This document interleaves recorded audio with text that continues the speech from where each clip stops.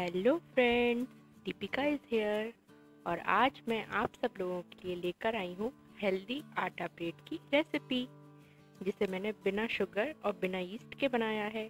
तो सबसे पहले आप देख लीजिए इसके इंग्रेडिएंट्स ये ब्रेड जितनी आपको खाने में टेस्टी लगने वाली है, ये आपके हेल्थ के लिए भी उतनी ही बेनिफिशियल है, क्योंकि इसमें हमने मैदा इस्तेमाल नहीं करी है, शक्कर इस्तेमाल नहीं करी है और अगर घर में ईस्ट नहीं है तो भी आप इसे आसानी से कुछ सामान की मदद से बना सकते हैं। तो चलिए शुरू करते हैं अब इसे बनाना।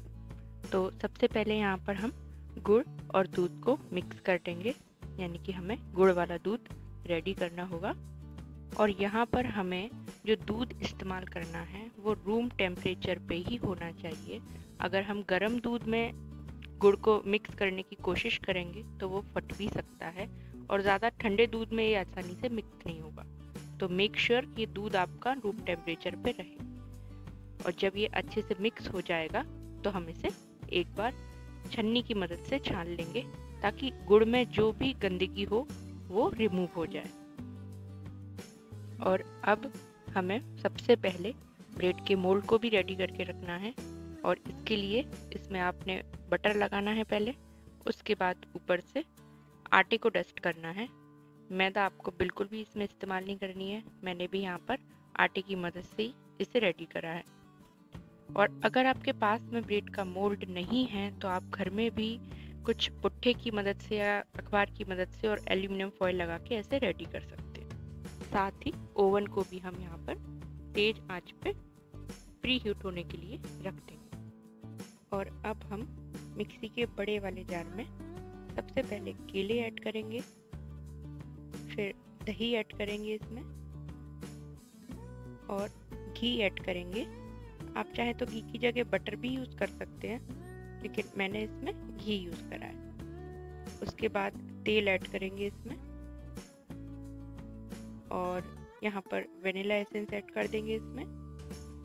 और अब जो मिल्क हमने रेडी करके रखा था, जिसमें हमने गुड़ को मिक्स किया था उसे भी इसमें आधा ही मिक्स करेंगे, क्योंकि आधे का यूज़ हम बाद में करेंगे।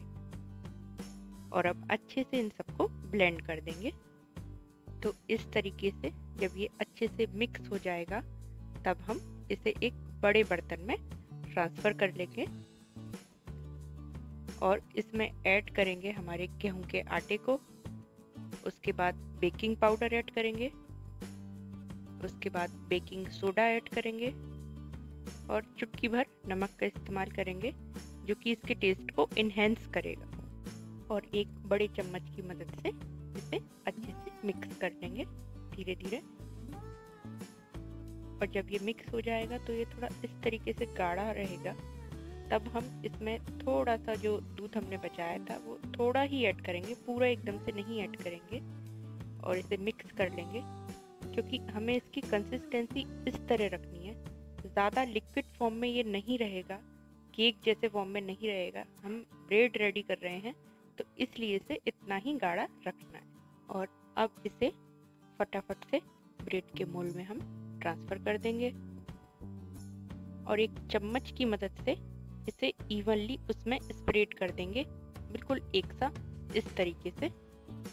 और अब यहाँ पर जो गुड़ वाला दूध बचा हुआ है थोड़ा सा उसे हम एक ब्रश की मदद से इसके ऊपर अच्छे से फैला देंगे। अगर आपके पास ये दूध नहीं बचता है तो आप नॉर्मल दूध को भी इसके ऊपर ऐसे वॉश कर सकते हैं। ये एक बहुत ही अच्छा कलर लेकर आएगा इस पर। और लास्ट में इसके ऊपर ये वाइट तिल जो है, उसे फैला दें अच्छे से।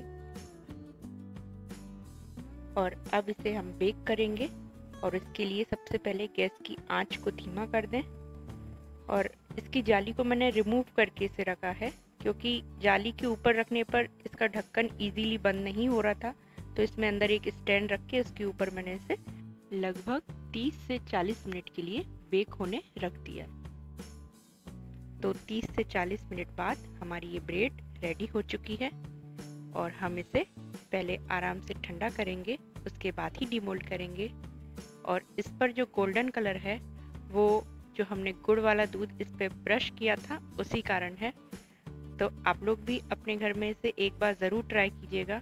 और अगर रेसिपी में कुछ भी आपको समझ ना आया हो या आपकी कोई भी क्यूरी हो तो मुझे कमेंट बॉक्स में ज़रूर पूछिएगा। मैं रिप्लाई ज़रूर करूँगी। तो वीडियो आपको पसंद आया तो इसे ज़रूर लाइक कर दीजिएगा। चैनल को सब्सक्राइब करना बिल्कुल मत भूलिएगा। और बेल आइकन पर प्रेस करना तो बिल्कुल भी मत भूलना। इस वीडियो को शेयर करना अपने फैमिली एंड फ्रेंड के साथ। एंड अपने वैल्यूएबल कमेंट हमारे साथ ज़रूर शेयर कीजिएगा। Thank you.